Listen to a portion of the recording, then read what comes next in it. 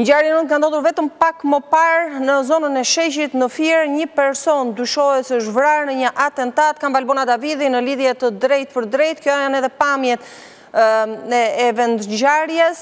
Valbona të përshëndes, shoh që policia është në vendngjarje, shumë njerëz të mbledhur aty, bëhet fjalë për vrasje realisht se momenti i parë u tha që një person është gjetur i vdekur.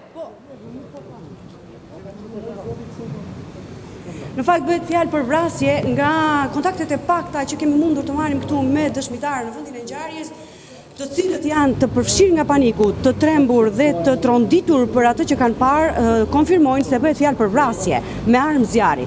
Ajo që nuk dihet është se si ka ndodhur vrasja, përderisa kemi dy automjete të përplasura me njëri-tjetrin dhe konkretisht këtu Në këtë automjet, tip fuoristradë është edhe viktima nëse është e mundur që të shihet, por është ende viktima brenda automjetit, i qëlluar me armë zjarri.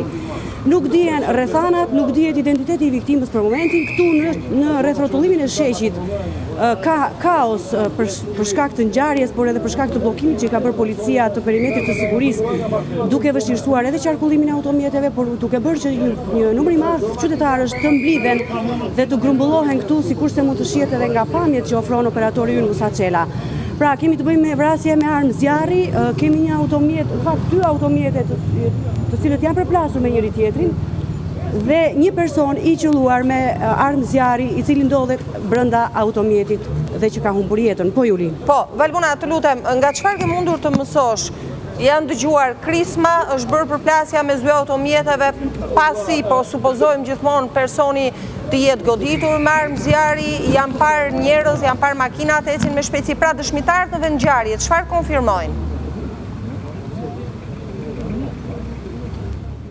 Ende nuk ka, nuk kam ende një deklaratë nga dëshmitarët, sepse sikurse thashë janë të tronditur. Ajo që munda të dëgjoj nga dëshmitë e personave që kanë parë ngjarjen është se ngjarja ka ndodhur në mënyrë të papritur në mes të ditës dhe në një vend ku ka qarkullim të shumtë.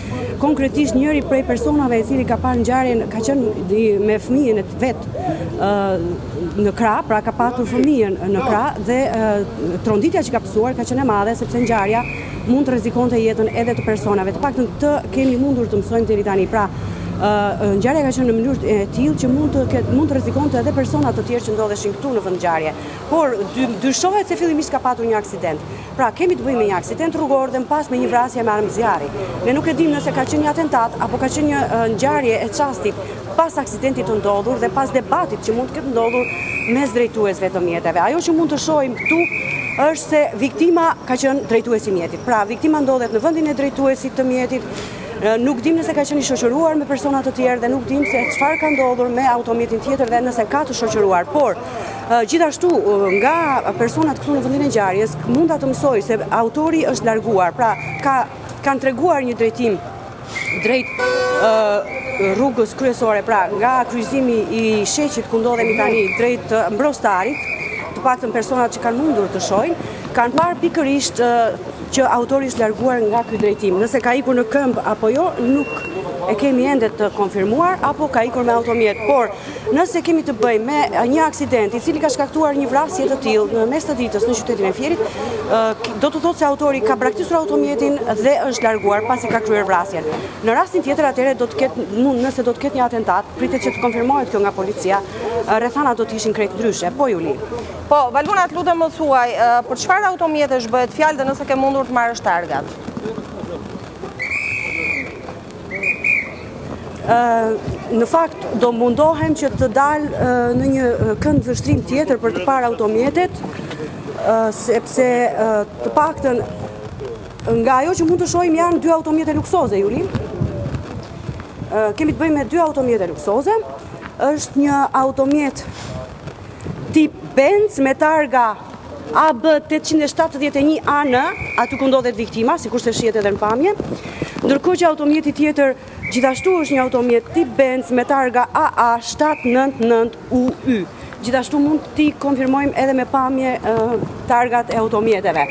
Ajo që duhet të them është se duket qartë që ka patur një aksident rrugor, por nuk dim se si ka ndodhur vrasja.